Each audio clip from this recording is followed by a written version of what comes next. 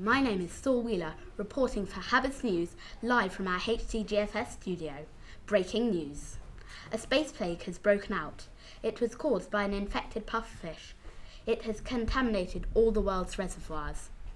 Here's Luna, our science correspondent, for more. Thank you, Saul. Well, 95% of, nope, scratch that, 97% of the UK's population is now infected. And as Saul has just mentioned, a spaceship has crashed with an infected pufferfish. The experts say the chemical causing this havoc is Jetasorbic spectracum. It is only found in outer space and old sweaty gym socks. Seriously, it sinks. Well, the numbers are not going down now with the people who have this infection. They are literally off the charts. The ingredients we have to use to find the antidotes are nuts, honey, cold water, old banana skin, tomatoes, and worst of all, pigeon poop. I wish these heroes luck trying to find them right now, as we have to fill 2,632,999 litres of this. That's all from us. Now we're going to our journalist filming more. Thank you guys.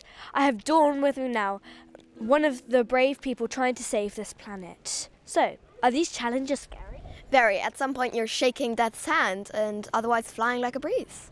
What are you doing to stop it?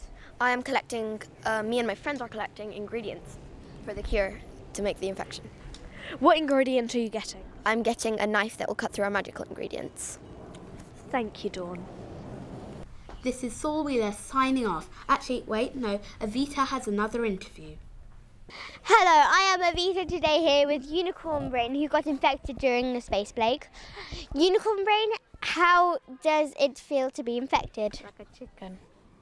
It's sad. It's sad.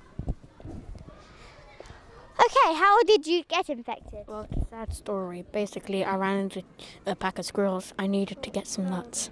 I needed to get some nuts for the ingredient so I could heal the population of United Kingdom of 97%. So I charged into a pack of infected squirrels. I did get the um, nuts, but I got infected, and yet my friend left me behind for me to rot. But my, my horn disappeared, but it grew back. So you're scared of squirrels? Yeah. Do you realise you got one in your pocket? You pretended to eat a squirrel that you're scared of. Okay. Thank you, Unicorn Brain, for participating with us. Um, Now, I also have Jeth with me now, another one of the ba- brave people trying to save this planet. So, are the challenges scary? Yes, extremely scary. You never know what's going to happen. How did you come to be here?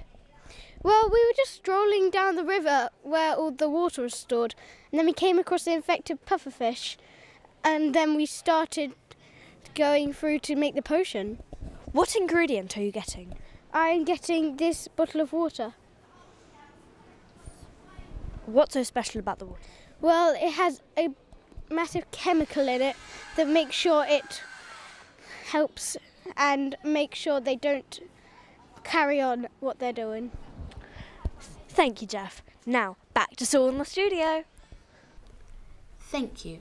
This is Saul Wheeler signing off for Habits News in the HDGFS studio.